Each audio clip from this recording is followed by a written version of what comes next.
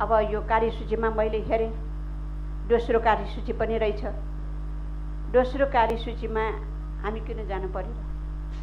किन भन्दाखेरि मैले अघि पनि भने नि हामी संस्कारयुक्त बनाऊँ। द्वन्द्वलाई चाहिँ कम कम गरौँ। हामी एकअर्कामा सहयोग गरौँ एकअर्कामा भावना जोडौँ। एकअर्कालाई चाहिँ यो प्रदेश बनाउनको लागि मिलेरै काम गरौँ।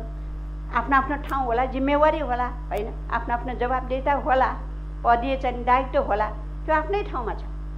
तर आखिरमा चाहिँ नमिलिकन सुखै छैन। साँच्चै नै यो प्रदेश बनाउनलाई नमिले सुखै छैन।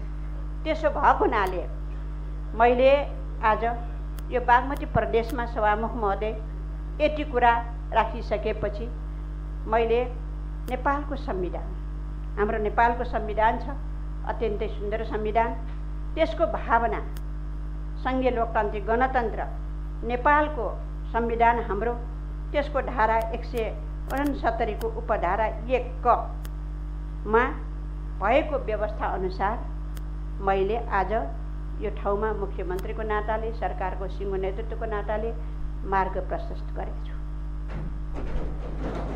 मैले भने दोस्रो विषयमा अब हामी जान आवश्यक छैन र यही तरिकाबाट चाहिँ हामीले एकअर्कामा सहयोग गरौँ भन्ने भावनालाई नै आत्मसाथ राखेर हो।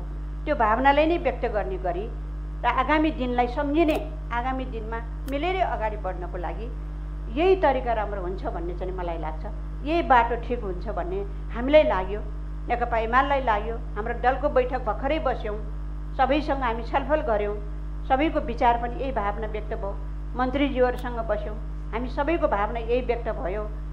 यसरी चाहिँ जाँदाखेरि सबभन्दा राम्रो हुन्छ भन्ने कुराहरू भएको हुनाले मैले यसरी चाहिँ मार्ग प्रशस्त गरेको छु र सबै मान्यज्यूहरूलाई अहिलेसम्मको सम्पूर्ण यहाँहरूले सहयोग गर्नुभयो। जुन ढङ्गले उहाँहरूले चाहिँ चाहिँ यहाँहरूले चाहिँ जस्तो सुकै भावना जसरी व्यक्त गर्नुभएको पनि त्यो भावनै व्यक्त गर्नुभएको हो त्यो विचारै व्यक्त गर्नुभएको हो यसलाई सम्मान गर्दै सभामुख मध्य म आफ्नो कुरा यहीँ टुङ्ग्याउन चाहन्छु।